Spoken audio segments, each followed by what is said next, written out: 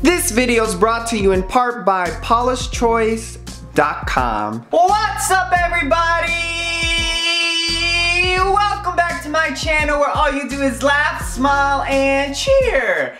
I hope everybody's having an amazing, amazing day today, and if you're not, I hope this video makes it better! So, what is up guys? I actually just came back from my acting class. We did like a group, um, not a group audition, I'm sorry. It was a non-verbal commercial and basically just have to act out the scene um, instead of speaking it. So like let's say my scene was um, I was sitting down on uh, on a couch watching a game and I dropped chips all over the place and the dog's supposed to clean it up. Literally acted that out, did great, did awesome, moved on, and now I'm home. So before I actually did that, I stopped by um, to pick up a couple of things.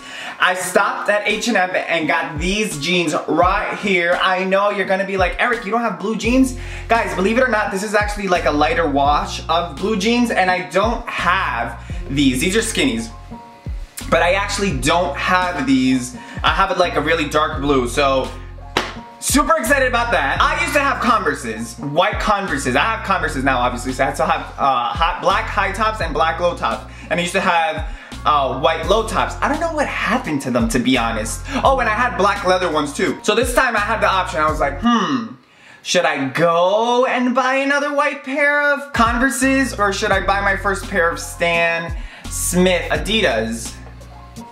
So I don't know, yeah, this was a really hard decision for me, but um, I mean if you guys still don't know, I'm pretty sure my decision was pretty freaking obvious. I the Stan Smith, guys. I know I'm a little bit behind on it. It's a really trendy shoe right now. This company's, this shoe style has actually been around for over 40 years. They have not changed the style. They actually just came out with um, the foam bottoms literally yesterday, two days ago. And now these shoes are available for both men and women. So both men and women can wear these shoes. I actually, believe it or not, I fit into a girl's size. I think this is a size 11 or 12 in women's and I fit perfectly into it, believe it or not. Like my foot literally is like right here. Um, comfortable as hell too, so I dirtied it. These are the new babies, guys. Are these worth it? Erick, are they worth it? Yes, they actually are. Everybody in the fashion industry is using them. I shot in one of these for an uh, editorial that debuted in Japan or Korea, I think and um, they were using these shoes and actually these same jeans. So I was like, might as well get the both. So, super excited. Look at the little logo that's on here. Look at that. But yeah, guys, that was literally my day. I I stayed home, um, did what I have to do here. I didn't even do my bed or anything crazy, and then I went out to New York City to get these things, and then go to my acting class.